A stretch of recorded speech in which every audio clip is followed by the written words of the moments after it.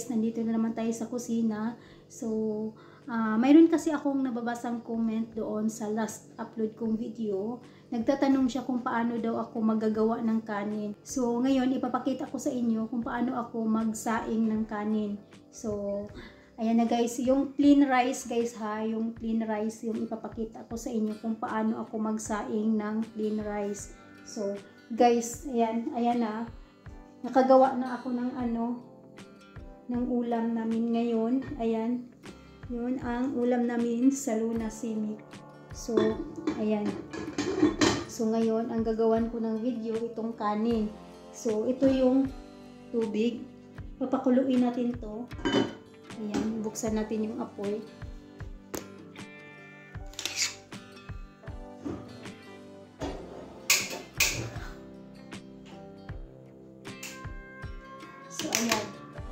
Ito yung rice nila. Ayan. Hinugasan ko na yan ng apat na bisis. Tapos binabad siya sa tubig. Ayan. Pagkakulo niyan, ilalagay natin to.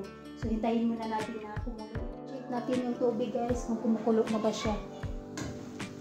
So, ayan guys, kumukulo na yung tubig. Ilalagay natin yung rice. So, tatanggalin muna natin yung tubig dito sa kanin. So, ayan. Itatapon natin yung tubig.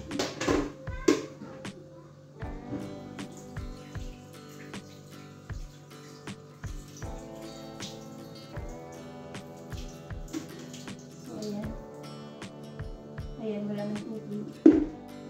Ilalagay na ilalagay natin po sa kumukulong tubig. So, ayan. Ayan. Lagay natin sa kanin. So, ayan na. Lagyan natin siya ng asin. Ayan, yung asin. Ilalagay natin dito.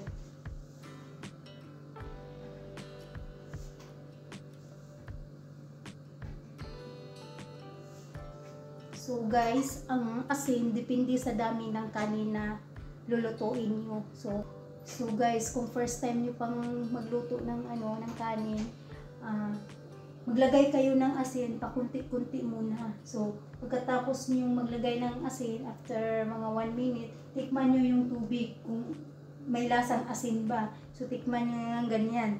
Ayan, lasa asin. So, guys, wag na wag nyo talagang kalimutan maglagay ng asin dito sa kanin. Dahil iba yung kanin nila dito guys sa, sa Arab country. So, kailangan talaga na lagyan ng asin kasi walang lasa pag walang asin. Nasubukan ko yan dati, nakalimutan kong lagyan ng asin. Yun, walang lasa. Pag kinakain mo, wala talagang lasa. Kakaiba yung nila dito. So, so kaya sisiguraduhin nyo na nilagyan nyo talaga ng asin yung kanin para hindi kayo mapagalitan ni, ano, ni madam. After 10 minutes nito guys, i tatapon natin yung ano, tubig ng kanin. So, ayan na guys, after 10 minutes, ayan, ayan na yung kanin.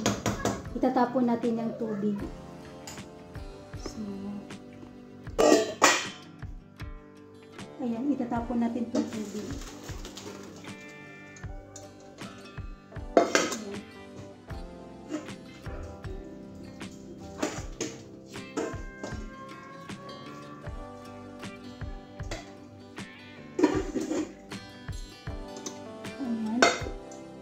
Tapos, ilalagay natin ulit sa ano, kaldero.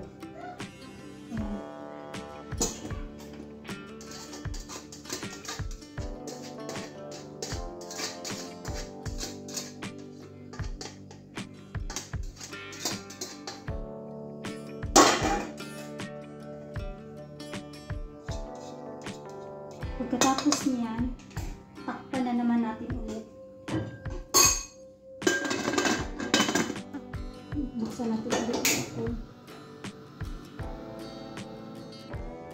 Mahinang mahina yung apoy. Ayan.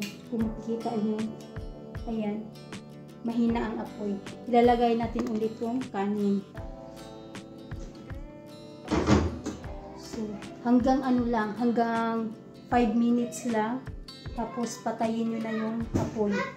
So, ganyan lang ang paggawa ng kanin. So, ito na guys, papatayin na natin yung ano, apoy. 5 minutes na. Ayan. Ilalagay natin siya sa lagayan. So, ilalagay na natin siya dito guys. Ayan, ito yung lagayan nila. Ayan.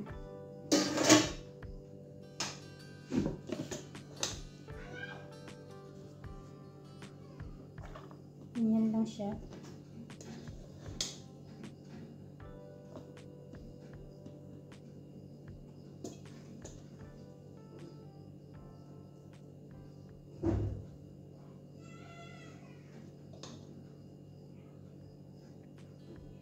So, ayan lang.